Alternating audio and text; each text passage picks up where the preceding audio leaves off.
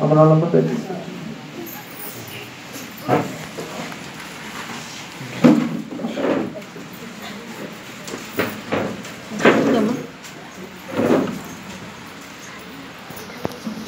విరోధిగా మార్చిన విజయం రెండో భాగాన్ని మనం మాట్లాడుకుందాం మరి మొదటి భాగం ఎప్పుడు మాట్లాడుకుందాం రాత్రి మాట్లాడుకుందాం మీరు సాయశక్తుల ప్రయత్నించండి. శనివారం రాత్రి ఖచ్చితంగా ఉపవాస ప్రార్థనలో ఏకీభవించండి. ఆ ప్రార్థన ప్రత్యేకత ఏంటంటే అది పాపం ఒప్పుకోలు ప్రార్థన. ఖచ్చితంగా రావాలి పాపం ఒప్పుకుంటే పవిత్రత వస్తుంది. తర్వాత మనం క్రీస్తు వారి శరీర రక్తాల్లో పాలు పుచ్చుకుంటే మనకి యోగ్యత ఉంటుంది. మ్యాక్సిమం అందరూ ప్రయత్నించండి మీరు రొట్టె ద్రాక్షరసం తీసుకోవడం ఎంతైతే ఇష్టం చూపిస్తున్నారో శనివారం రాత్రి రావడానికి కూడా పోరాడండి ప్రార్థించండి దేవుడిని అడగండి ఎందుకంటే అప్పుడు మీరు రాందే ఈ ఉదయం మీకు ఏం అర్థం కాదు. ఉపవాసం చేసిన దగ్గర ఉండడానికి కాదు కదా దేవుడి సన్నిధిలో గడపాలి. అంటే ఈ వారం నుంచి నేను కొత్త ప్రాసెస్ మొదలు పెట్టాను ఏంటంటే ఆదివారం ఉదయం చెప్పే పాఠం సగం శనివారం రాత్రి చెప్పేస్తాను. ఇంకేం అర్థం కాదు లేకపోతే. ఈ వారానికి నేను మీ అందరి విషయంలో దృష్ట్యా నేను ఆలోచించి మరొకసారి ఒకసారి రాత్రి ఏం చెప్పానో చెప్తాను మళ్ళీ వారం నుంచి చెప్పండి మళ్ళీ వారం నుంచి రాత్రి నుంచి కంటిన్యూషన్ అంటాను అంతే. ఆదివారం ఉదయం పాటు. రాత్రి మనం మాట్లాడుకున్న పాఠ్యాంశం విరోధిగా మారిన మార్చిన విజయం విరోధిగా మార్చిన విజయం. ఒక విజయం ఒక వ్యక్తిని దేవుడికి విరోధం చేస్తుందా? చేసిందని రాత్రి చాలా బాగా మనం మాట్లాడుతున్నాం. ఏ విషయంలో అతడు విరోధిగా మారిపోయి ఎందుకు మరణానికి వెళ్ళిపోతున్నట్టు అన్నది ఆలోచిస్తూ ఈరోజు మనం ఆలోచిద్దామని చూస్తాం.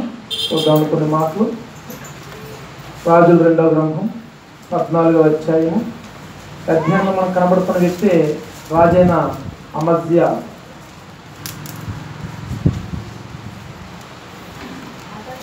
యోవాస్ కుమారుడిగా ఈయన దేవుడికి ఇష్టానుసారంగా బ్రతికిన వాడే కాకపోతే అంతకు ముందు పితరులు ఏవైతే దేవుడికి వ్యతిరేకమైన నిలబెట్టారో వాటి విషయంలో కాస్తంత నిర్లక్ష్యంగా ఉన్నాడంతే. కానీ ప్రజలు యథార్థాన్ని స్వీకరించడం మానేశారు. ఈయన బ్రతుకును బట్టినా మారవచ్చు కానీ మారలేదు. ఈయన ఏమైతే తీలేదో వాటిని పూజించడం మానేస్తారు అంటే మనం కూడా తెలివిగానే ఆలోచిస్తాం. ఏమని? ఏ అంత నేను మారాను కదా నన్ను చూసి మారచ్చు కదా అంటారు మిమ్మల్ని చూసి ఎందుకు మారుతారు? మీరు పక్కన బాగోలేదు ఉంటే దాన్ని చూస్తారు ఎవరైనా సరే. ఒక ఇంట్లో మిమ్మల్ని చూసి భక్తులు అంచనా ఏమంటే మీరు ఎంత ప్రార్థన పనులు నాకు అనవసరం. నన్ను మీ ఇంటికి తీసుకెళ్తే మీరు ఎంత అవిశ్వాసంలో చెప్పగలుగుతాను నేను ఎందుకంటే ప్రభావం అలాంటిది. ఇప్పుడు అలా అని అయితే ఈ ఇంటికి నేను ఎలా అర్థం చేసుకుంటున్నాను అనుకోకూడదు నన్ను. ఎవరైనా అంతే కదా ఇంటిని చూసి వెళ్ళాలని లెక్క పెట్టమన్నారు మీ భక్తి అక్కడ అర్థమవుతుంది అనమాట ఇప్పుడు చాలా భక్తి పరుడు కాదంటలేదు మనం ఎవరు. కాకపోతే వాళ్ళ పితరులు ఏవో ఉంచారట అవి తీయలేదు ఈయన. మరి ప్రజలంతా వాటిని అనుసరిస్తున్నారట. వాళ్ళ దేవునికి అసహ్యమే కదా భక్తిలో భక్తుల్లో రాకముందు ఇష్టానుసారంగా ఎలా ఉన్నా పర్వాలేదు. దేవుళ్ళలోనికి రాని వారు అన్యులుగా ఉంటూ యేసుక్రీస్తు కూడా దేవుడు అని అనడంలో తప్పులేదు. కానీ క్రీస్తులోనికి వచ్చిన తర్వాత ఇప్పుడు ఏకత్రాటి మీదకి రావాలి. మన ఇష్టానుసారంగా మన నోటికి వచ్చినట్టుగా మాట్లాడుతూ లోక సంబంధం విషయాల్లో వాటిని గొప్ప చేస్తూ ఉంటే దేవుడు అంగీకరించడు. మన భక్తి భక్తి కాదు. రోషం గల దేవుణ్ణి మనం కోరుకున్నాం. రోషంగానే బ్రతకాలి. పరిశుద్ధిని కోరుకున్నాం. మనం పరిశుద్ధులుగా జీవించడానికే. పవిత్ర రక్తం చేత ప్రోక్షింపబడిన వారు పవిత్రంగా జీవించడానికి. కల్మషం అనేది మరలా మన జీవితాల్లో కనబడకుండా జాగ్రత్త పడుతూ ఉండాలి. కనబడితే మీ రిజల్ట్ ఎలా ఉంటుందంటే మీ పరిశుద్ధతను బట్టి రిజల్ట్ రాదు మీకు. మీ అపవిత్రతను బట్టి వెనకాల మొలకలు మొలుస్తుంటాయి. వెనకాల మొలకలన్నీ కూడా అపవిత్రతను బట్టి మొలుస్తుంటాయి. అది మీరు గుర్తించాలి. ఇప్పుడు ఈ అమధ్య జీవితం కూడా ప్రజలంతా చెడిపోతారు. నాలుగో వచ్చిన. అయితే అతను ఉన్నత స్థలంలో కొట్టివేయలేదు జనులు ఇంకా ఉన్నత స్థలంలో బలి అర్పించు ధూపం వేయుచుండేది ఆయన మంచునే మూడో వచనంలో ఆయన దావీది చేసినట్టు చేయకపోయినప్పటికీ కూడా యహోవా దృష్టికి నీతి గలవాడే ఉన్నాడు. యోవా చేసినట్టు ప్రకారం చేశాడు భక్తం ఉంది నాలుగో వచనం వచ్చేటప్పటికి ముందున్న వాటి విషయంలో జాగ్రత్త తీసుకోలేదు. ఐదో వచనంలో ఇక ప్రజలు చెడిపోతున్నట్టుగా నాలుగో వచనంలో చెడిపోతున్నట్టుగా మనం చూస్తున్నాం. అయితే చాలండి అక్కడ ఈయన కొంతకాలానికి ఎరుషులేం రాజు మీదకి యుద్ధానికి వెళ్తాడు. యహో యాషు అని ఆయన మీదకి దూతలు పంపుతాడు. నేను నిన్ను యుద్ధంలో కలుసుకోవాలనుకుంటున్నాను. రా ఇద్దరు మొహాలు చూసుకుందాం. ఎవరు గొప్పవాడు తెలిసిపోద్ది ఇప్పుడు? అంటాడు. నీకు అనవసరమైన విషయం. ఎందుకు ఇతను అనవసరమైన యుద్ధంలోకి వెళ్తున్నాడు? కొన్ని కొన్నిసార్లు మనం అనవసరమైన పనులను వెళ్తుంటాం. అలా చేసి ఉండకుండా ఉండాల్సింది. అలా చేయకపోతే బాగుంది మరి ఎందుకు చేశారు? మీకు తెలియదు ఎవరికీ తెలియదు ఎందుకు జరుగుతుందో. ఎందుకంటే ఒక ప్రేరేపణకు లోనైపోతాం మనం. అలా చేస్తే మంచిదేమో అన్నట్టు చేసేస్తాం. కానీ నిజానికి నష్టం కల చేసుకుంటాం మన జీవితంలో చాలా అటువంటి నష్టాలు చదివిస్తాం మనం. అలాగే ఈ రాజు కూడా యుద్ధానికి రమ్మంటాడు. ఎందుకు నా జోలి నీకు? అని ఒక ఉపమానం చెప్తాడు. చెట్టు ఉపమానం రాత్రి మనం వివరించుకున్నాం దాన్ని. అయినప్పటికీ వినడు యుద్ధాలకు వెళతాడు యుద్ధంలో ఓడిపోతాడు. ఆ రాజు తను ఏం చంపడు కానీ ఎరుశలేం తీసుకొచ్చి ఎరుశలేం పట్టణాన్ని దోచుకుని దాన్ని కొంచెం పాడు చేసి వెళ్ళిపోతాడు. అదే మనం చూడగలిగితే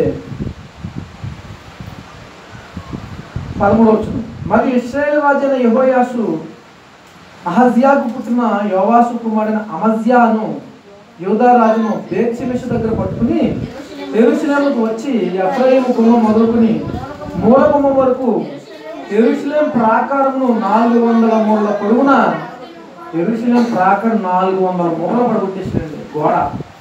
ఎంత నష్టం మరియు యహోవా మందిరమునందును రాజనగరమునందును కనబడిన బంగారము వెండి మొదలైన సమస్త వస్తువులను పట్టణస్థులలో కుదువ పెట్టబడిన వారిని తీసుకుని ఆయన రాజధానికి వెళ్ళిపోయాడు. ఇస్రాయేల్ రాజధాని సోమరోడు. యహోయాస్ చేసిన ఇతర కార్యములను గురించి అతని పరాక్రమం గురించి యోధారాజున అమజ్యాతో అతను చేసిన యుద్ధముల గురించి ఇస్రాయల్ రాజు వృత్తాంతర గ్రంథంలో రాయబడి ఉన్నది. అతను యహోయాస్ తన పితరులతో కూడా నిద్రించి సోమరంలో ఇస్రాయల్ రాజుల సమాధిలో పాతి పెట్టబడ్డాడు అతని కుమారుడు ఎరుబాము ఇతను రెండో ఎరుబాము ఆ లిస్టులో ఎరుబాములు లిస్ట్ చూస్తున్నప్పుడు రెండో ఎరుబాముగా లెక్క వస్తాడు ఇస్రాయల్ రాజుకి అతనికి మామూలుగా రాజయ్యాడు యోధా రాజున యోవాషు కుమారుడు అమస్య ఇస్రాయల్ రాజున యహో యాహాజు కుమారుడిని యహోయాషు మరణమైన తర్వాత పదిహేను సంవత్సరాలు బ్రతికాడు. ముందు ఇతను ఓడించిన రాజు చచ్చిపోయాడు ఓడిపోయినప్పటికీ నేను చావలేదు. కానీ జీవితం ఎంత దుర్భరంగా మారిపోతుందంటే పంతొమ్మిది వచ్చింది. అతని మీద ఎరుశలేములో జనులు కుట్ర చేయగా ఏ జిల్లా ఎరుశలేములో ఉంది ఏ జనులు? స్వజనులేనా? పరజనులా? ఎరుషులేంలో రాజీన ఎరుషులేం ప్రజలే ఈ రాజు మీద కుట్ర చేస్తున్నారు చంపడానికి. అదేంటి? అదంతే. ఎందుకంటే దేవుని చిత్తాన్ని గాక స్వచిత్తాన్ని జరిగించే వారికి తమకు తోచినట్టుగా బ్రతికే వారికి ప్రమాదం బయట నుంచి రానవసరం లేదు. ఇంట్లోనే ప్రారంభమవుతుంది. అలాగే బయట ప్రజలు ఏమీ వీళ్ళని స్వజనులే సొంత యూదులే సొంత పట్టణంలోని వారే ఈయన మీదకి కుట్ర చేస్తున్నారట. అది తెలుసుకున్నాడు ఈయన. అతను లాకేష్ పట్టణానికి పారిపోయాడు. ప్రజలు భయపడి తన ప్రజలు భయపడే రాజుగారు. వాళ్ళు ఊరుకున్నారా? కానీ వారు లాకేషులకు అతని వెంట కొందరిని పంపించి వారు అక్కడక్కడ చంపి రాజుని ప్రజల్లో కొంతమంది వెళ్ళి చంపేసి గుర్రం మీద వేసుకొచ్చి శవాన్ని ఎరుసలేము తెప్పించి దావిదు ప్రముఖ అతని పిల్లల సమాధిలో పాతి పెట్టిరి చూసారా? ఎంత దారుణమైన సందర్భం మీకు అర్థమైందో లేదో. తన వెంట ఉండాల్సిన తన ప్రజలే తమ రాజు మీద కుట్ర చేశారు. ఎందుకు చేశారో తెలియదు. పారిపోయడం తెలుసుకుంది వెనక కొంతమంది మనుషులు పంపించి ఆ లాగిష్ పట్టణంలోనే అతను చంపించేసి శవాన్ని గుర్రం మీద వేసుకుని తీసుకొచ్చేసారు గౌరవం ఏం పోలేదు. శవాన్ని మాత్రం నా దగ్గరే పాతి పెట్టుకుంటాం బ్రతకడానికి మాత్రం వీలేదు పిచ్చండి కదా కొంతమంది వ్యక్తులు మనతో ఎందుకు అలా ప్రవర్తిస్తారో కూడా మనకు తెలియదు మన నీతి న్యాయం ధర్మం మాట్లాడతాం ఎవరికి కావాలి మన నీతి? ఎవరికి కావాలి మన ధర్మం? ఇలా జరగకుండా ఉండాలన్నా ఇలాంటి దుర్భరమైన స్థితిలోకి మనం దిగజారిపోకుండా ఉండాలన్నా చాలా మెరుగు కలిగి ఉంటేనే తప్ప మనం ఉండలేము ఎప్పుడు ఏ విధంగా మన బ్రతుకులు మారిపోతాయో ఏ విధంగా పతనానికి వెళతామో మనకు తెలియదండి ఏమన్నా ఇప్పుడు అమజ్య గొప్ప చరిత్ర ఏం చెప్పమంటారు? అమజ్య గొప్ప రాజు అండి. కాకపోతే యుద్ధంలో చచ్చిపోయాడండి అని అడిగారు అనుకున్నాను చచ్చిపోయాడు కానీ యుద్ధంలో కాదండి. సొంత జన్లో చంపేశారండి అని పారిపోతుంది ఎందుకు పారిపోయాడు ఎందుకు చంపేశాడు? ఎందుకు తీసుకొచ్చి సమాజ్ చేశాడు? ఇలాగే ఇక్కడ ఉండే ఆలోచిస్తే మనకి ఏం తెలియదు. అసలు తన జీవితంలో ఏం జరిగిందో దేవుడు మరో చోట రాయిస్తున్నాడు. దేవుడు ఇతను ఎలా ఉపయోగించుకోవాలనుకున్నాడో ఇతను ఎలా ఉపయోగపడలేకపోయాడో ఇతని పతనానికి కారణం ఏంటో దేవుడు రాయిస్తున్నాడు ప్రియమైన వల్ల మన బ్రతుకును సరి చేసుకోవాలి. నీ బ్రతుకును బట్టి. విజయమే. నేను విరోధిగా మార్చిందేమో దేవునికి మరి? ఆ ఉన్నతమైన జీవితమే. దేవునికి మరి విరోధిగా మార్చేసిందేమో? పంచభక్ష పరమాణాల నుండి దేవునికి దూరంగా ఉండడం కన్నా ఖాళీ గడుపుతూ ఉపవాసం నుండి దేవునికి చేరుకుంటూ మంచిది కదా. దేవుని చిత్తంలో బ్రతకడం మేలు కదా. ఏం కోరుకుంటున్నాం చూద్దాం ఇతని కోసం. దినవృత్తాంతం. రెండవ గ్రంథం. ఇంకా కూలంకషంగా ఇక్కడ దేవుడు రాయించిన మాటలు అనేది ఇరవై ఐదో అధ్యాయం మొదటి వచ్చింది అమధ్య అమధ్య ఏరను ఆరంభించినప్పుడు ఇరవై ఐదేళ్ళ వాడై ఇరవై తొమ్మిది సంవత్సరాలు ఎరుషులేంలో వెళ్ళాడు అతని తల్లి ఎరుషులేం కాపురస్తురాలు ఆమె పేరు యెహోయద్దాను. అతను యహోవా దృష్టి యథార్థంగా ప్రవర్తించాడు. అక్కడ పులిస్తా పెడితే బాగుండు కానీ గాని అని మాట ఉందండి. ప్రవర్తించిన మీరు చదవాలండి నేను చదివేశాను కానీ మిగతా చదువుతారు మీరు మీ స్టైల్ మీది. నేను చదివిన చూడరు నాకు ఎందుకు ముందుకు వెళ్ళిపోతారో మీకు ఏం అర్థం అవుతుందో నాకు అర్థం కాదు. చూడండి. అతడు యహోవా దృష్టికి యథార్థముగా ప్రవర్తించను? ఇప్పుడు చదివారు కానీ ఏంటండి? కాబట్టి ఆవిడ భక్తి పదాలే కానీ అంటే అర్థం ఏంటండి? భక్తి పదాలే మరి. కానీ ఎక్కడో పోగొట్టుకున్నాను భక్తి. ఎవరో ఐదు పోగొట్టుకున్నాను అలాగే ఈయన కూడా యథార్థంగానే ప్రవర్తించాడు. కానీ పూర్ణ హృదయంతో ఆయన అనుసరింపలేదు. మీరు భక్తి చేస్తున్నారు కాదంటలేదు. కాదంటే కుదురుతుందా? ఎన్ని సంవత్సరాలైనా కూడా బాప్తిజం తీసుకుంటారు. బాప్తిజం కూర్చుకోవడం కాకపోతే విషయం ఏంటంటే పూర్ణ హృదయంతో భక్తి చేస్తున్నారా? పూర్ణ హృదయం పూర్ణ ఆత్మ పూర్ణ మనస్సు పూర్ణ వివేచన. ఉన్నాయా? అది అడుగుతున్నాడు ఆయన. ఈయన కూడా భక్తిపరుడే కానీ పూర్ణ హృదయంతో అనుసరించలేదు. రాజ్యము తనకు స్థిరమైనప్పుడు అతడు రాజైన తన తండ్రిని చంపిన రాజసేవకులను చంపించాడు. అయితే తండ్రుల తండ్రులు పిల్లల కొరకు పిల్లల తండ్రుల కొరకు చావకూడదు. ప్రతి మనిషి తన పాపం కొరకు తానే చావాలని మోసే ధర్మశాస్త్ర గ్రంథమందలి రాయబడి ఉన్న యహోవ ఆజ్ఞను బట్టి అతడు వారి పిల్లలను చంపడం మానేశాడు. పిల్లల్ని చంపలేదు. చూడండి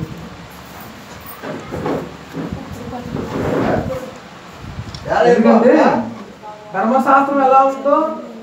అది పాటిస్తున్నాడు. కానీ హృదయం ఎలా ఉంది? నేను వాక్యం చెప్తుంటే రాసుకుంటున్నారు. వాక్య ప్రకారం వాక్యాన్ని బట్టి మీరు మాట్లాడతారు. బాగానే ఉంది. హృదయం ఎలా ఉంది? హృదయం బాగుందమ్మా. అడుగుతున్నాడు ఆయన. అంతా బాగానే ఉన్నాడు. ధర్మశాస్త్రాన్ని బట్టి కూడా వీళ్ళ నాన్నగారు చంపిన వాళ్ళు పిల్లల్ని చంపట్లేదు ఎందుకని వాళ్ళు ఏం చేసేవాళ్ళు పాపం పిల్లల్ని చంపొద్దంట కదా ధర్మశాస్త్రంలో. అంటే బైబుల్ని కూడా ఫాలో అవుతున్నాడు ఈయన. మోస ధర్మశాస్త్రాన్ని కూడా పాటిస్తున్నాడు ఈయన. కానీ ఏం లేదు పూర్ణ హృదయంతో అనుసరించడం లేదు. అది గమనించాలి మనం. అయితే అమర్య యోధా వాళ్ళందరినీ సమకూర్చి యోధా దేశం అంతటను బెన్యామిన దేశం అంతటను వారి వారి పితరుల ఎండలను బట్టి సహస్రాధిపతులను శతాధిపతులను నియమించుకున్నాడు బలపరుచుకుంటున్నాడు సైన్యాన్ని. అతడు ఇరవై సంవత్సరములు మొదలుకొని అంతకు పైప్రాయముగా వారిని లెక్కింపగా ఈటెను డాళ్ళను పట్టుకుని యుద్ధములు పోదగినట్టు యోధులు మూడు లక్షల మంది ఉన్నారు. మరియు అతడు ఇప్పుడు చూడండి. మరియు అతడు ఇస్రాయేల్ వారు లక్ష మంది పరాక్రమశాలులను రెండు వందల మణుగుల వెండికి కుదుర్చుకున్నాడు. ఈ దగ్గర మూడు లక్షల మంది ఉన్నారు. ఆయన రెండు వందల మనుగుల వెండిచ్చి జీతాన్ని పెట్టుకుంటున్నాడు ఓ లక్ష మంది సైనికులు. దేనికి యుద్ధానికి వెళ్తున్నాడు అన్నమాట ఎక్కడికో. కదండి? దైవజనుడైన ఒకడు వాళ్ళు పిలవగానే పాస్టర్ గారు మన పిల్లక్కలు ఎప్పుడు పడితే అప్పుడు వస్తుంది పని అలాగే ఈయనేం పిల్లలేదు ఒక దైవజనుడు వచ్చేసేది దగ్గర అంటాడు కదా? రాజా ఇస్రాయేల్ వారి సైన్యమును నీతో కూడా తీసుకుని పోవద్దు. జీతం ఇచ్చాడు రెండు వందల మనుగుల వెండి ఇచ్చాడు లక్ష మంది సైనికులు జీతాన్ని పెట్టుకున్నాడు. ఇంకో దేశం మీదకి యుద్ధానికి వెళ్తున్నాడు. ఇప్పుడు కుదరదయా వాళ్ళ నీతో ఉండడానికి అంటున్న దయోజనం ఏం చేయాలి? అర్థం కావట్లేదు ఒకేసారి మన జీవితంలో కూడా అంతే. మనం ఏం చేస్తామంటే వద్దన్నా క్షమాపణ అడిగేస్తాం సాయంత్రం వచ్చి. ఇప్పుడు ఏడ్చేస్తే అయిపోద్ది కదా. అనుకుంటున్నాం రాజీ పడ్డాయి. లక్ష మందిని వాళ్ళని తీసుకొచ్చుకున్నాం యుద్ధానికి వెళ్తున్నాం యుద్ధానికి వెళ్ళు వాళ్ళని తీసుకెళ్ళి. వాళ్ళు తీసుకెళ్ళి. మరి ఏం చేయదు ఇప్పుడు? మరి లక్ష డబ్బులు వేస్ట్ అయిపోతున్నాయి కదండి. చూడండి ఏం ఆలోచిస్తాం రాజా ఇస్రాయేల్ వారి సైన్యం నీతో కూడా తీసుకుని పోవద్దు. యహోవా ఇస్రాయేల్ వారు ఎఫ్రాయిములలో ఎవ్వరికీ తోడుగా ఉండడు. వాళ్ళు నచ్చట్లేదని నచ్చడంతో స్నేహం చేస్తే కుదరదు. నువ్వు. నీకు నా సహాయం కావాలంటే నువ్వు ఒంటరిగా నన్ను ఉండు నేను నీకు సహాయం చేస్తాను. లేదంటావా? నువ్వు స్నేహంతో నువ్వు ఏదో సంధి కుదుర్చుకుని వెళ్తావు ఇద్దరు నువ్వు వెళ్ళు. ఏమవుతుందో తెలుసా? అలాగ పోవాలని నీకున్నాయి కదా పొమ్ము యుద్ధము బలముగా చేసినను. దేవుడు నీ శత్రువులు ఎదుటి నిన్ను కూల్చును. నేను చంపేస్తాడు ఆయన. నీ శత్రువులు ఎదుటి చంపేస్తాడు. చూసుకో. లక్ష మందితో యుద్ధానికి వెళ్ళి చేస్తావా? వాళ్ళ వెనక పంపేసి యుద్ధానికి వెళ్ళి విజయం సాధిస్తావా? ఇలా ఉంటాయండి దేవుడు మాటలు. ఆయన ఎప్పుడు కూడా మన ఎంత బలహీనం ఎలాగ వెళ్ళకి అని చూడండి ఆయన. ఆయన ఉన్నాడు కదా బలవంతుడు. మనతో ఎవరైనా మరొకరు భక్తి లేని వాళ్ళు వస్తే మాత్రం ఒప్పుకోడు. అందుకే బైబిల్లో విశ్వాసితో అవిశ్వాసికి పాలెక్కడా అంటాడు ఆయన. కుదరదు పొట్టు కుదరదు. కొన్ని సంఘాలు ఎప్పటికీ ఎదగకపోవడానికి మన సంఘంలాగే కారణాలు ఏంటంటే విశ్వాసులు ఉంటారు అవిశ్వాసులు ఉంటారు కలిసే ఉంటారు. ఎవరేంటో మనకి ఎవరికి తెలియదు అలా ఉన్నంతకాలం సంఘాల్లో అభివృద్ధి ఉండదు. మొత్తానికి అవిశ్వాసులైనా అంత అభివృద్ధి. డ్యాన్స్ వేసుకుంటారు రెండు పాటలు పాడుకుంటారు చిన్న పెట్టగా చెప్పుకుంటారు అల్లు ఆనందం అనుకుంటారు రెండు రాష్ట్రం తినేస్తారు నాకు అందలేదంటారు తీసుకుంటారు అయిపోతుంది. హ్యాపీ ఉన్నాం మళ్ళీ మనం కలుసుకుందాం అంటారు. మా చర్చ ఏంటండి? ఎంత ఆనందం అంటారు. మంచిదే. అలా ఉన్నా కూడా నొప్పి ఏం తెలియదు వాళ్ళు అందరూ వాళ్ళే కదా.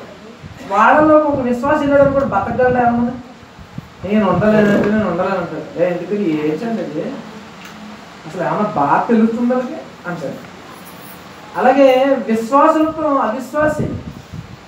ఒకవేళ వచ్చాడు అనుకోండి నచ్చవు కానీ ఆ కాసేపు ఏంటంటే ఏదో విశ్వాసిగా అన్నట్టుగా ఉంటారు. కానీ ఇతని మాట ఇతని విధానం అస్సలు సూట్ అవుతుంది అప్పుడు ఏం చేస్తాడంటే అట్టి వారిని బట్టి నలగొడుకుంటాడు మిగతా వారిని అది నేను మీరు ఎవరు కావచ్చు ఆయనకు నచ్చను. ఏ ఆకాని విషయంలో యహోశివ బాధపడలేదా? ఇస్రాయేల్ వారిని దేవుడు ఓడించలేదా? ఓడించాడు ఆయనకు నచ్చదు ఆయన రాజీ పడ్డాయన ఆయన కన్నులు దుష్టత్వం చూడలేనంత నిష్కలంకమైనది ఆయన పాపానికి ఆయన అంత చోట్లేదు అసలు. అంటున్నాడు ఈ లక్ష మందిని ఎందుకు పంపించాడన్నారు తెలుసా వెనక్కి? వీళ్ళకి దేవుడు అంటే సరిగా తెలియదు. సరిగా తెలియదు నీ కూడా ఎందుకు? నీకు ఎంతో కొంత భక్తి ఉంది కదా. వాళ్ళు ఇచ్చిపెట్టే వాళ్ళు వెళ్ళిపోమను ఇంటికి. అంటున్నాడు. అప్పుడు ఆయన అంటాడు కదా చూద్దాం. అలాగూ పోవాలని నీకు ఎడల పొమ్ము యుద్ధం బలంగా చేసిన దేవుడిని శత్రువుని ఎదుటి కూల్చును నిన్ను కూల్చును అని నిలవబెట్టడి పడవేటి దేవుని వశమే కదా అన్నాడు దైవజన్ ఒక నిలబెట్టాలన్నా పడగొట్టాలన్నా దేవుని చేతిలోనే ఉన్నాం కదా. అని ప్రకటింపక అమస్య దైవజనుడు చూచి ఇస్రాయేల్ వారి సైన్యములకు నేను ఇచ్చిన రెండు వందల మనుగుల వెండికి ఏమి చేసేదామని అడిగినందుకు మరి ఏంటయ్యా పంపించేస్తాను పంపించమంటే రెండు వందల మనుగులు వెండి ఇచ్చేసాను అనవసరం కలిగి ఇద్దరు తీసుకొద్దామని మరి ఏం చేయాలంటే అక్కడికి ఎప్పుడైనా దైవ సేవకుడు దీనికంటే మరి అధికముగా యహోవానికి ఇయ్యగలడని ఆ దైవజనుడు ప్రత్యుత్తరం ఇచ్చాడు. ఇంకా ఎక్కువ ఇస్తాడు నీకు. ముందు పంపించేయి. ధనం వద్దు ధనం పోతే పోయింది. నువ్వు నీతిగా ఉండడం ముఖ్యం. వాడు నీతో కలవకుండా ఉండడం ముఖ్యం. వాడు నీతో కలవకుండా ఉండడం స్నేహాలు కొన్నిసార్లు చాలా ప్రమాదం చేస్తుంది స్నేహం. నాకు తెలియదు మనం దేవునితోనే ఉంటే దేవుడే మన ఆత్మీయ స్థితిని మెరుగుపరిచే స్నేహితులు మనకు ఇస్తాడు అంతకు మించి కాలు పక్కకు తొలగిందా? ఖచ్చితంగా అది మన నాశనానికి ఇప్పుడు తెలియదు ఇప్పుడు తెలియదు ఆత్మీయ స్థితి అంటే అర్థం ఏంటో తెలుసా? దేవునికి భయపడుతూ లోబడటం దేవుని నామానికి నా నా వల్ల ఎటువంటి అపకీర్తి కలగకుండా జాగ్రత్త పడటం చచ్చిన చచ్చిన కుక్కతో సమానం అవుతాం మనం ఆ రోజు. ఎప్పుడు? మన వల్ల దేవుని నామానికి అవమానం వచ్చింది. రాకూడదు. ఇప్పుడు అలాంటి వారితో కలిసి ఉన్నాం అనుకోండి ఏమైపోతాం? ఆయనకి ఇష్టం ఉండదు. ఇస్రాయిల్ అంటే దేవుని ప్రజలే. యెహోవా అంటే వాళ్ళ దేవుడే. వాళ్ళతో కలుద్దుంటున్నాడు ఇప్పుడు ఈయన. ఎందుకని? భక్తి కోల్పోయారు వాళ్ళు. వాళ్ళకి నచ్చిన భక్తి చేస్తున్నారు నాకు. అంటే వాళ్ళకి నచ్చిన భక్తి కదా చేయాల్సింది? నా నాకు నచ్చిన విధంగా నాతో భక్తి చేయాలి ఎవరైనా సరే. నీకు నచ్చినట్టుగా కాదు నాకు నచ్చినట్టుగా ఉండాలంటున్నాడు దేవుడు. మనకు నచ్చినట్టుగా ఉంటాం దేవుళ్ళకి వచ్చిన తర్వాత. అంతే కదా? కట్టు బొట్టు మన మాట తీరు మన విధానం ఇవన్నీ దేవుడికి నచ్చినట్ట మనకు నచ్చినట్ట. చెప్పండి? దేవుడికి నచ్చినట్టు. మనకు నచ్చినట్టు.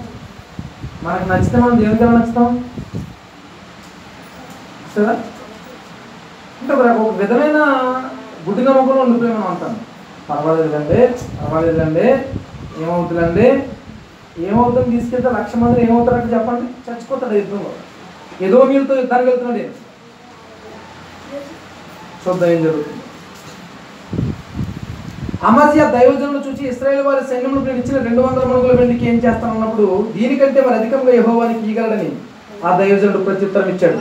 అప్పుడు అమర్య ఎఫ్రాయిములో నుండి తన యొద్దకు వచ్చిన సైన్యమును వేరుపరిచి ఏం చేశారు తెలిసి? యుద్ధానికి వెళ్ళలేదు బాబు ఎఫ్రాయిం అన్య నుంచి వచ్చారు కదా మీరు? దేశం నుంచి లక్ష మంది. నన్ను ఇవ్వాలండి మనం మీరు? అంటున్నారు పక్కకి తీసుకొచ్చి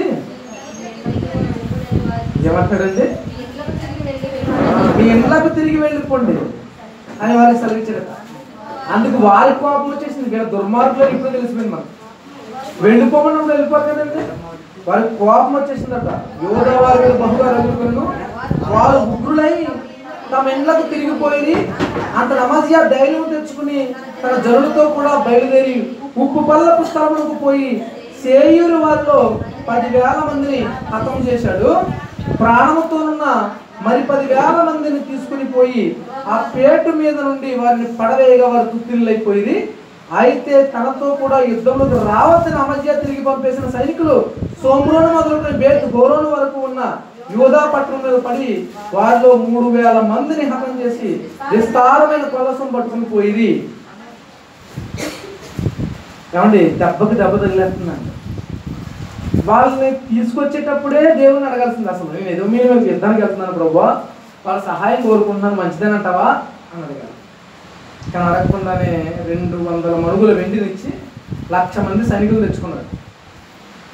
వెంటనే సేవకుడు దైవ సేవకుడు వచ్చాడు. వెంటనే వాళ్ళని పంపించండి అన్నాడు. ఎందుకంటే వాళ్ళు విగ్రహారాధికులు అయిపోయారు. వాళ్ళు నీతో ఉండకూడదు. ఆ మనసు ఉన్నోడు దేవుని ఎదగలేదు దాన్ని ద్వేషించేవాడు దాని జోలికి వెళ్ళనివాడు దేవుని స్థానాన్ని భర్తీ చేయడానికే ఈ లోకంలో ఉందన్న విషయం గ్రహించిన వాడు జాగ్రత్త పడుతుంటాడు అనమాట ఎందుకంటే అంటాడు నాకు చెందాల్సిన మహిమనింది మరి దేనికి చెందడం అన్నాడు ఆయన. మనం ఆయన వారం. ఆయన వారిలోనే బ్రతకాలి మనం ఎవరిని బాధ పెట్ట అవసరం లేదు. ఎవరిని దూషించిన అవసరం లేదు. అలాగని ఎవరి మొహమాటానికి వెళ్ళి మన ప్రాణాలు తీసుకునే అవసరం లేదు. ఎందుకంటే ఇప్పుడు మనం ప్రేమ చూపిస్తే వాళ్ళు కూడా మనలోకి రావచ్చు. బాగుంది. ఈ టెక్నిక్ ఉపయోగిస్తున్నారు చాలామంది సేవకులు. కానీ అలాగా ఉంటే ఇదిగో ఈ పాఠం మన కళ్ళు తెరిపిస్తుంది ఇప్పుడు. అలాగుంటే దేవుడికి నష్టం. ముందు దేవుడు మనకే వ్యతిరేక అయిపోతాడు మనం విరోధులైపోతాం. ఎదోమీల మీదకి వెళ్ళి యుద్ధం చేసి ఇరవై వేల మందిని చంపేసి వస్తాడు అమధ్య కానీ ఈ యుద్ధానికి వెళ్ళి అక్కడ యుద్ధం చేస్తుంటే మీ ఇంటికి వెళ్ళిపోండి బాబు మీరు మీకు నేను ఇచ్చిన డబ్బులు కూడా నాకు ఏం అవసరం లేదు. వెళ్ళిపోండి అంటే వాళ్ళు సరిగా వెళ్ళకుండా యోధా దేశం మీదే దాడి చేసి మూడు వేల మందిని పట్టుకుపోయి పట్టణాన్ని అంతా చల్లాచల్ల చేసేసి సొమ్మంతా దోచుకుపోయారు. చూసారండి ఎంత దుర్మార్గులు ఇస్రాయేల్ అమర్జీ విషయం అంత కీడు చేశారండి? అదొక కీడైతే ఈయన ఓర్చుకోలేకపోతాడు దాన్ని ఆ కీడుని. అందుకే ఇస్రాయల్ రాజు మీద ఇద్దరికి వెళ్తాడే నన్ను ఎందుకు నన్ను నేను ఊరికినే నా పని ఏదో నేను చేసుకుంటుంటే నీ ప్రజలు నీకు అప్పటికేం చేస్తే వాళ్ళు నా మీద దాడి చేసిండారు కదా? రా నువ్వు నేను తేల్చుకుందాం అంటాడు. కానీ ఆ యుద్ధంలో అమర్జీ అయ్యే కారణం అసలు అలాంటి శాపగ్రస్తులైన వారిని పిలుచుకోవడం యుద్ధానికి మాకు ప్రథమ కారణం. రెండో కారణం అవుతుంది ఇది చాలా భయంకరమైనది ఏంటంటే చూద్దాం. పద్నాలుగు వచ్చిన అమధ్య ఎదోమీయులను ఓడించి తిరిగి వచ్చిన తర్వాత అతను షేయిర్ వారి దేవతలను తీసుకుని వచ్చి తమకు దేవతలుగా నిలిపి వాటికి నమస్కరించి ధూపం వేశాడు. ఏమంటే యహోవా దేవుని నమ్ముకున్న ఈయన చేతిలో ఓడిపోయిన ప్రజల దేవుళ్ళని తీసుకొచ్చి మొక్కుతున్నాడట. ఎంత బాగుందో చూడండి. అంత విచిత్రంగా ఉంది జీవితం. మొదట్లో అన్ని వదిలేసుకుని దేవుళ్ళలోకి వచ్చిన మనం దేవుడు గొప్పవాడని చెప్పుకుంటూనే దేని వైపు వెళ్తున్నామేమో? వెళ్తున్నామేమో? చాలా కోపం అండి ఆయన. ఆయన విషయాలు అసలు సహించలేదు ఆయన. ఇస్రాయల్ ఒక ఆజ్ఞ ఇస్తే ఏమంటాడంటేనా? చూద్దాం. నాలుగవ అధ్యాయం ద్వితీయోపదేశ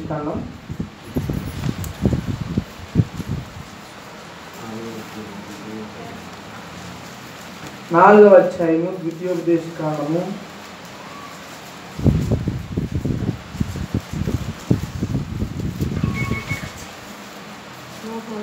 పదిహేను వచ్చిన నుంచి చెప్తున్నాడు నీ దేవుడు ఎలాంటి వాడు అని వివరిస్తున్నాడు ఆయన? నాలుగు పదిహేను. హోరేబులో ఎహోవా అగ్ని జ్వాలల మధ్య నుండి నీతో మీతో మాట్లాడిన దినమున మీరు ఏ స్వరూపమైనా చూశారా? చూడలేదు. దేవుడే అగ్నిజ్వాల మధ్య నుంచి తన ప్రజలతో మాట్లాడుతున్న ప్రజలు దేవుని రూపాన్ని ఏమైనా చూసారా ఏ రూపమైనా చూసారా మాట మాత్రమే విన్నారు. ఏ రూపాన్ని ఎవరు చూడలేదు. కావున మీరు చెడిపోయి భూమి మీద ఉన్న ఏ జంతువు ప్రతిమనైనను మీరు చూడలేదు కనుక మీరు ఎలా ఉండాలి? జాగ్రత్తగా ఉండాలి. ఒకవేళ మీరు చెడిపోయి భూమి మీద ఉన్న ఏ జంతువు ప్రతిమనైనా ఆకాశం దగ్గర రెక్కల గల ఏ పక్షి ప్రతిమలను నేల మీద ప్రాకు ఏ పురుగు ప్రతిమలను భూమి కింద ఉన్న నీళ్ళ ఏ చేప ప్రతిమలను ఆడు ప్రతిమలు కానీ మగ ప్రతిమలు కానీ మనుషుల్లో ఏ స్వరూపము కలిగిన విగ్రహమును మీ కొరకు చేసుకోనకూడనట్లు ఆకాశం వైపు కన్నులెత్తి సూర్యచంద్ర నక్షత్రములైన ఆకాశ సైన్యమును చూసి మరులు కొల్పబడి నీ దేవుడు యహోవా సర్వాకాశము క్రింద సమస్త ప్రజల కొరకు పంచిపెట్టిన వాటికి. మీరు బ్రతకందని పంచిపెట్టిన వాటికి. ప్రకృతి అంతా పంచిపెట్టాడు ఆయన. వాటికి ఒకవేళ నమస్కరించి పూ వాటిని పూజింపకుండునట్లును మీరు బహు జాగ్రత్త పడండి. ఎంత జాగ్రత్త చెప్పాడండి ఆయన. తెలుసా మనకు తెలియదు ఈ జాగ్రత్త? నచ్చే కదా వచ్చాం? నచ్చే దానికి నచ్చే అప్పటి వరకు మనం ఏవైతే పూజిస్తున్నామో వాటిని విడిచిపెట్టే కావాలని ఈ నమ్ముకున్నాం. అందుకే చెప్తున్నాడు నన్ను నన్ను విశ్వసించేవాడైతే మీరు మరి నా రూపం ఏది చూడలేదు కనుక నాకు ఏ రూపాన్ని చేయకండి అంటున్నాడు. చూసారా ఏ రూపమైనా? మీరు కానీ చూసారా దేవుని రూపం? కాబట్టి ఏ రూపం లేదు. కానీ ప్రజలు మిగతా అన్ని ప్రజలు వాళ్ళకి తెలియక దేవుడు ఎలా ఉన్నాడో తెలియక వాళ్ళు ఒక రూపాన్ని చేసుకుంటూ వచ్చారు. ఆ రూపాన్ని మొక్కుతున్నారు. ఇప్పుడు ఈయన దైవజ్ఞాని కదా మరి? దేవుని వాడు కదా అమర్జియ యుద్ధానికి వెళ్ళాడు. ఇస్రాయేల్ వద్దంటే పంపించేశాడు వెనక్కి. ఎందుకంటే వాళ్ళ విగ్రహాలను కొలుస్తారు నువ్వు వెళ్ళొద్దు వాళ్ళతో మనం పంపించేస్తాడు. ఈయన మాత్రం యుద్ధం చేస్తాడు. వచ్చే వచ్చేటప్పుడు ఆ ఓడిపోయిన ప్రజలు ఉంటాయి కదా ప్రతిభలు తెచ్చుకుంటున్నాడు. ఎంత తెలియనాడు ఏంటో? ఏంటండి ఆలోచన అసలు? వద్దన్న ఆయన. మన వాళ్ళ సోదరులే కదా ఇస్రాయల్ వాళ్ళే వద్దన్నాడు. ఎందుకు వద్దన్నాడు? ఇస్రాయల్ ఎందుకు వద్దన్నాడు దేవుడు? వాళ్ళ పరిస్థితి బాగాలేదు భక్తి విషయంలో. మరి ఈయన ఏం చేస్తున్నాడు? అవి తెచ్చుకుని ఏం చేస్తున్నాడో చూద్దాం. రండి. దినవృత్తాంతం రెండవ గ్రంథం ఇరవై ఐదవ అధ్యాయము. పద్నాలుగు. అమధ్య ఏదో మీరును ఓడించి తిరిగి వచ్చిన తర్వాత అతను షేయిరు వారి దేవతలను తీసుకుని వచ్చి తనకు దేవతలుగా నిలిపి వాటికి నమస్కరించి ధూపం వేసును. అందుకొరకు యహోవా కోపము అమధ్య మీద రగులుతుంది అందుకొరకు అనే దానికి ఏంటి అందుకొరకు. అదొకటి కావాలని ఏంటంటే ఎందుకు భక్తి పరుడైన అమధ్య మీద దేవుని కోపం రగులుకొనెను నా ప్రశ్న. మీరేం చెప్తారు ఆన్సర్? అందుకొరకు. అందుకొరకు అంటే ఎందుకొరకు? ఏ ప్రజలని ఏ దేవత అయితే రక్షింపలేకపోయినావో ఆ శక్తి లేని వాడిని తెచ్చుకుని పూజిస్తున్నాడండి ఏంటో ఏమో. అప్పుడప్పుడు మనం కూడా అంతే వెనక్కి ముందుకు ఊగుతుంటాం. అన్నీ తెలుసు మళ్ళీ మనకి. డిగ్రీ లెవెల్లో నేర్చేసుకున్నాం బైబిల్ మనం. ఎవరికైనా సరే చెప్పేస్తాం. ఇప్పుడు మన హృదయలో గర్వం కాదు ఎందుకంటే సమాజంలో ఈ విషయాలు తెలియని వాళ్ళు అందరూ మనం ఎన్నో నేర్చుకుంటున్నాం. దేవుడి మహాకృప చేత ఆయన మనకు అనుగ్రహిస్తున్నాడు ధారాళంగా వాక్యాన్ని. లేకపోతే ఆదివారం మనలా ఎంతమంది కూడుకుంటారండి? ఉదయం నుంచి సాయంత్రం వరకు? మధ్యాహ్నం భోజనాలు ఎక్కడ మళ్ళీ మనకి? పొద్దున్న పది నుంచి మొదలవుతుంది సాయంత్రం మూడు నాలుగు అయిపోతుంది మనకి క్లాసులు. ఆరాధన అంటే ఏదో ఒక గంట రెండు గంటలు ఉంటుంది. మనకు మాత్రం ఏకదాటిగా ఉంటుంది. రాత్రి నుంచి స్టార్ట్ అయిపోతుంది. చూసారు? ధారాళంగా దేవుడు అనుగ్రహిస్తున్నాడు మనకి. ఇవన్నీ మనం నేర్చుకుంటుంటే ఎలా ఉంటుంది? మన హాఫ్ బ్రెయిన్లు అయిపోయినాయి కాబట్టి సరిపోయింది కానీ ఫుల్ బ్రెయిన్లు అయితే అసలు పట్టుకోలేము మనం. హాఫ్ బ్రెయిన్లు అయిపోయి రాత్రి చెప్పిన పాట ఇప్పుడు మర్చిపోతుంటాం? పొద్దున్న చెప్పిన పాట మధ్యాహ్నం వాడికి చెప్పలేం. ఇలా ఉంటేనే ఇది నేర్చుకుంటుంటేనే మన చుట్టూ ఉన్న ప్రజలను చూస్తుంటే ఏంటి అలా బ్రతికనిపిస్తుంటుంది ఏంటి మనం ఎంత నేర్చుకున్నా సరే. అసలు మొత్తం నేర్చుకుంటే పట్టుకోగలం మనం? మనం పట్టుకోలేము. అందుకే దేవుడు ఏం చేస్తాడంటే చెప్పేసిన పాటలు మర్చిపోలేదని కొత్త పాటలు నేర్చుకునేలాగా పడుతుంటున్నారు నేను జీరో అయిపోతుంటాను ఎప్పటికప్పుడు. ఏం చెప్పాలో తెలియదు. దేవుని పాదాల దగ్గర పడిపోతుంటాను. దేవ ఏం నేర్పాలి ఇప్పుడు ఏం నేర్చుకోవాలి నేను? నాకు ఏమి ఇస్తున్నారు? తెలివితేటలకు తావలేదు దేవుని దగ్గర. ఆయన కృప ధారాళంగా ఉంటుంది. అనుగ్రహిస్తూనే ఉంటాడు ఆయన. పొందుకోవాలి. మన బ్రతుకులు మార్చుకోవాలి. సమాజం చేసిన పొరపాటు అదే. ఏ దేవతలైతే ఏదో మీరు బలపరిచి అమజ్యాన్ని ఓడించలేకపోయినవో ఏ దేవుడైతే అమజ్యాను బలపరిచి ఏదో మీరు ఓడించాడో ఆ దేవుడిని అమజ్య పక్కన పెట్టి ఓడిపోయిన వారు దేవుని తీసుకుని పూజిస్తాడు. అందుకొరకు యహోవా కోపము అమజ్యా మీద రగులుకొనను. ఆయన అతని యొక్కకు ప్రవక్తను ఒకని పంపించాడు మరలా. ఒకని పంపగా అతడు ఎవరి వండర్ఫుల్ వరడండి నీ చేతిలో నుండి తమ జనులను విడిపింప శక్తి లేని దేవతల యొద్ద నీవెందుకు విచారణ చేయదు వండర్ఫుల్ వర్డ్ అండర్లైన్ చేసుకుని తప్పలేదు. ఎప్పుడైనా కానీ మీరు చదువుకోవడానికి బాగుంటుంది. మొన్న మధ్య తల్లి బైబిల్ కూడా వేసుకున్నాను కొట్టలేదు. పాతది బాగానే ఉంది. పాతది బాగానే ఉంది అదేమో ఎందుకు కొనుక్కున్నా అప్పుడే ఖరీదు పెట్టి బాగానే ఉంది కదా నన్ను అప్పుడు చూపించింది మొత్తం అన్ని గీతలే. ఎందుకు ఇన్ని గీతలు వచ్చినాయని అడిగాను?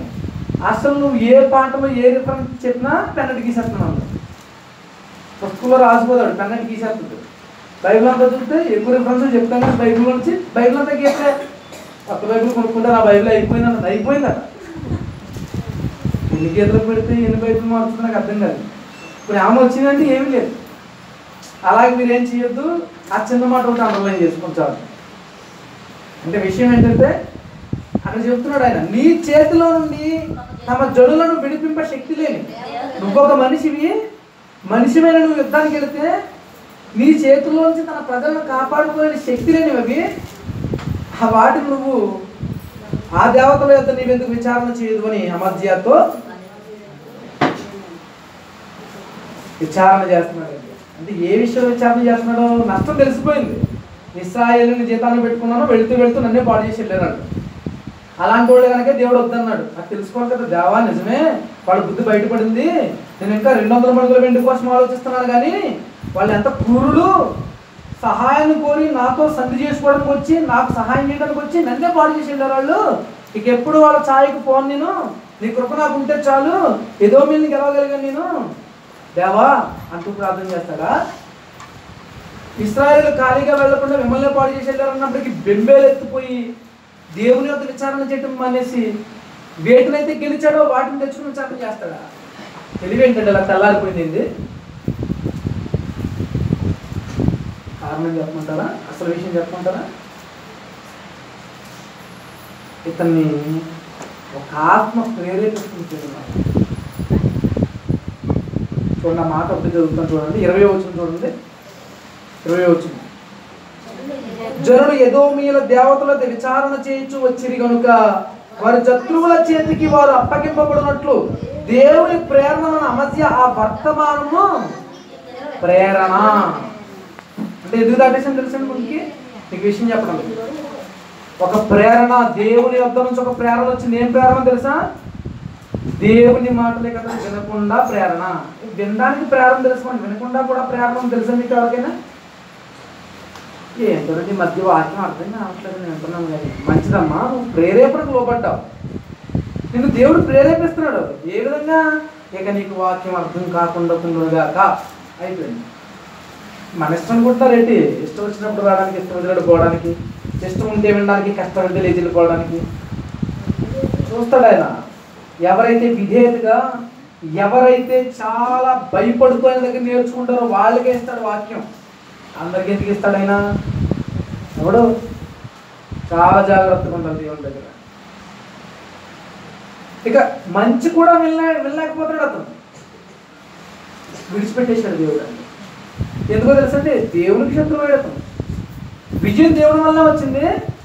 కానీ ఇతనికి వచ్చిన అనికమాలిన ఆలోచన వలన దేవునికి శత్రువయ్యాడు విజయం మనకు దేవుని వల్లనే కలిగింది. బాప్తిస్వంలో మనం అంతా విజయం సాధించిన వారేమో మన పాపాలను ఒప్పుకుని పవిత్రమైన జీవితాన్ని జీవించడానికి క్రీస్తు రక్తం చేత కడగబడి విజయుడైన క్రీస్తుతో విజయ కేతనాన్ని ఎగరవేస్తూ పరలోకానికి వెళ్ళిపోవడానికి అర్థం సాధించిన వాళ్ళు మనం అంతా కూడా. అయితే అయితే విజయం సాధించిన తర్వాత శత్రులుగా మారుతున్నామా?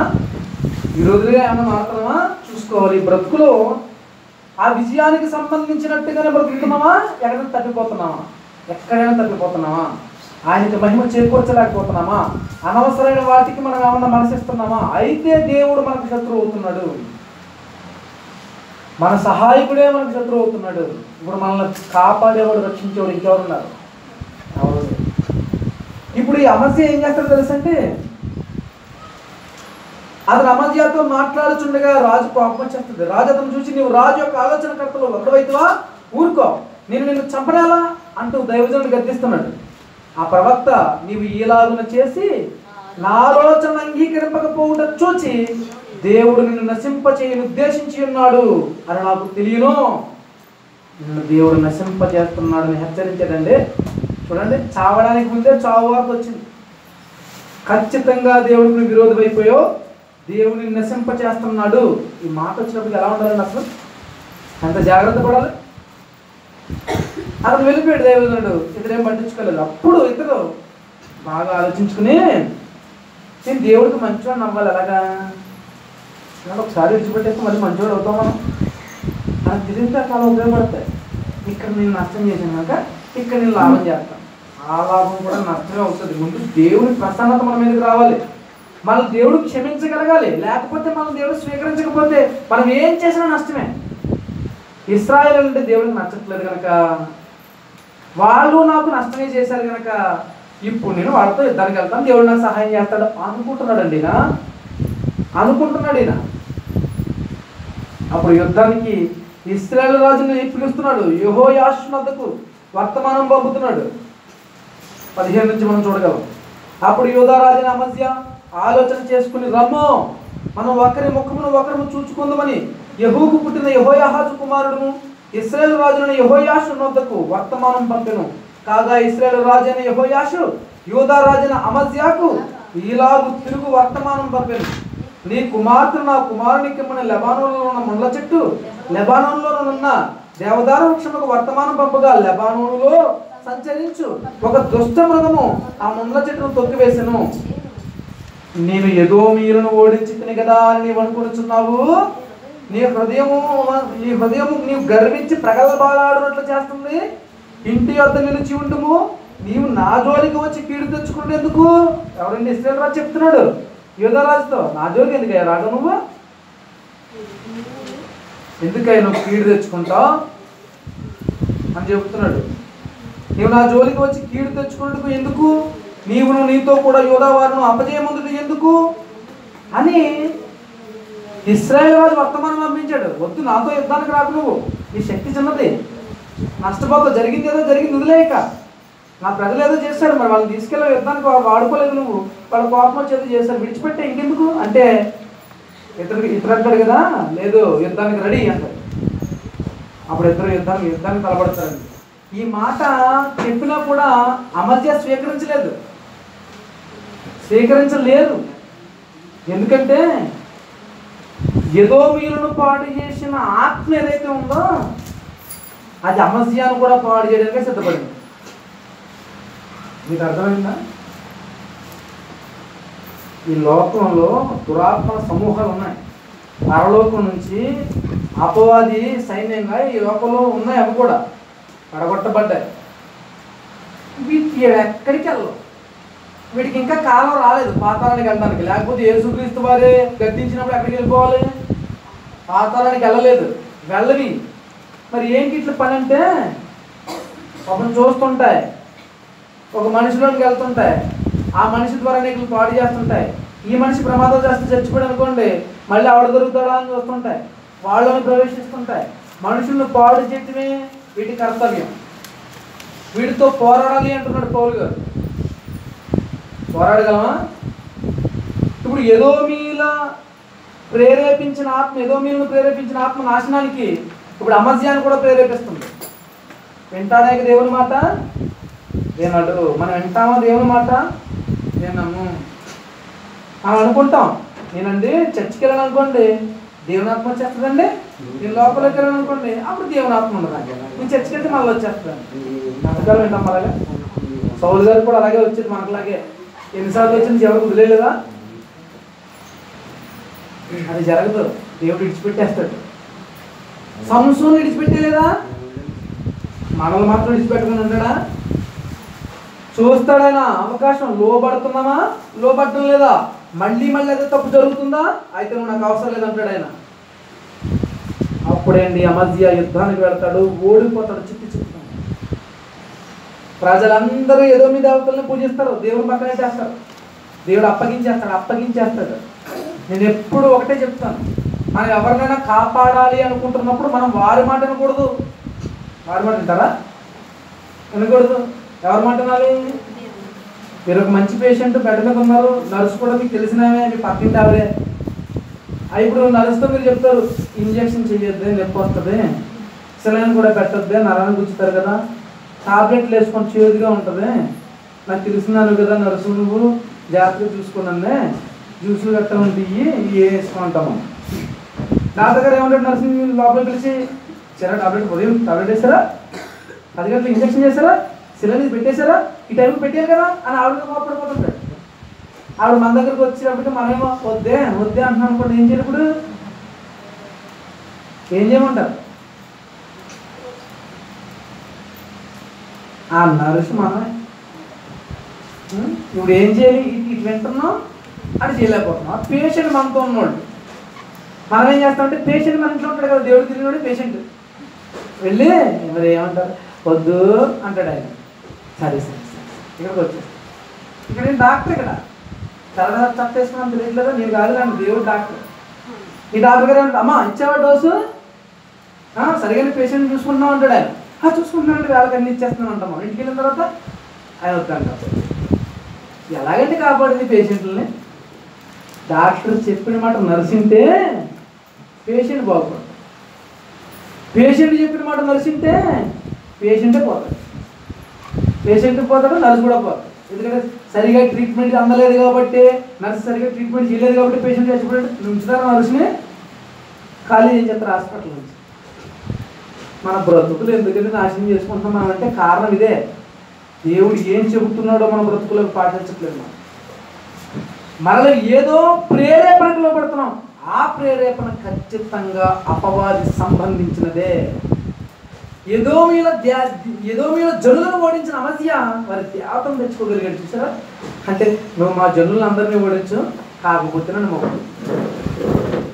తెచ్చుకున్నాడు. అపవాది తంత్రం సౌలికే తంత్రానికి బలైపోయాడు. అమాలేకుల మీద యుద్ధానికి వెళ్ళి అక్కడ నుంచి కొంత తెచ్చుకుంటాడు. దేవుడు ఎప్పుడా? అంత ఆశ పడిపోయాడు ప్రకృతి పడిపోయాడు? ఎట్లు బలంగా ఉన్నాయట. ఉంటే తెచ్చుకుంటాడు. బంగారం తెచ్చుకుంటాడు. దేవుడికి కానుకంటాడు దేవుడికి బలం అంటాడు. అవసరమా? మాట వినుట శ్రేష్టం. ఆజ్ఞన మీరటం దేవుడికి నచ్చదు. సోది చెప్పడంతో సమానం. తిరగబడుతున్నావు నువ్వు. అంటే సమయాలు హెచ్చరిస్తాడు. అప్పటి నుంచే సౌలు పతనం ప్రారంభమవుతుంటుంది.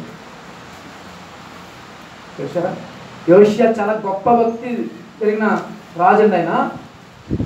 ఆయన ఫస్ట్ ఆచరిస్తే అంతకు ముందు తరాల్లో ఎవరో చేయనంత గొప్పగా చేస్తాడని. అలాంటి ఆయన.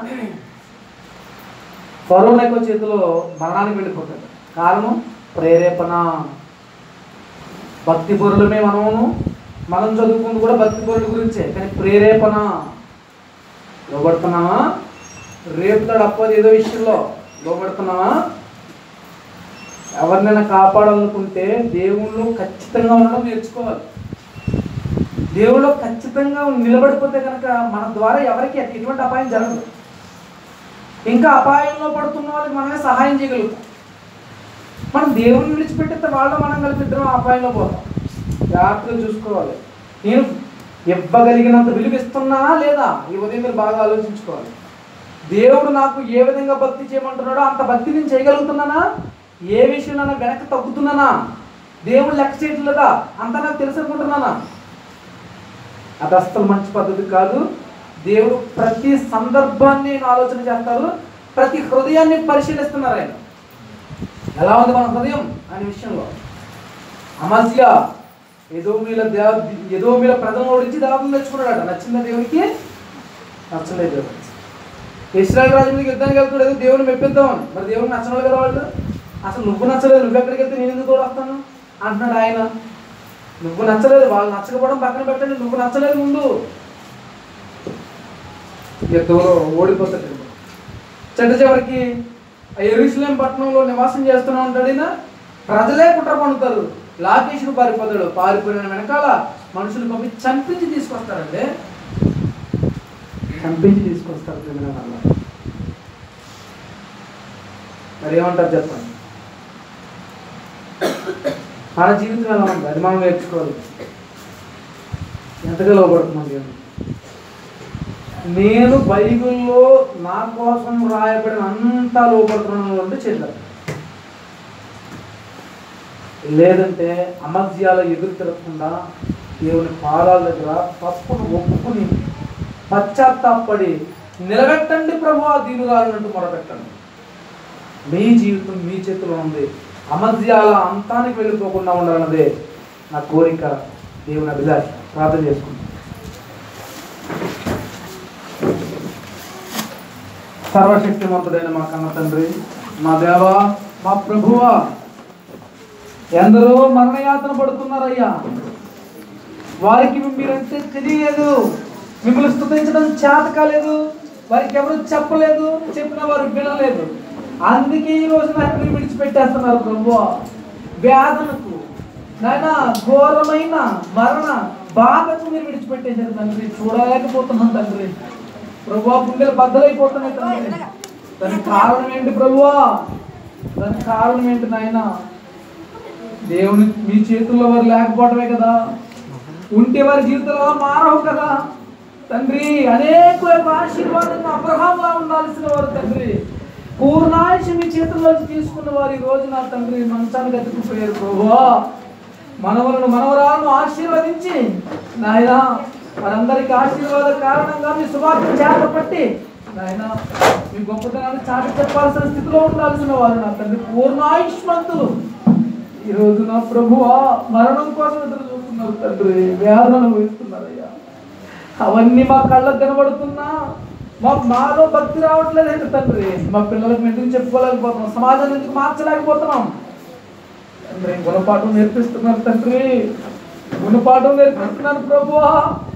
ఒక ఆత్మ నరకానికి వెళ్ళిపోతే ఇష్టం లేక శరీరంతో యుద్ధం చేస్తుంది తండ్రి. నేను వెళ్ళిపోలేను అని ఆత్మ అంటుంటే నువ్వు వెళ్ళిపోవని శరీరం అంటుంటే నా తండ్రి.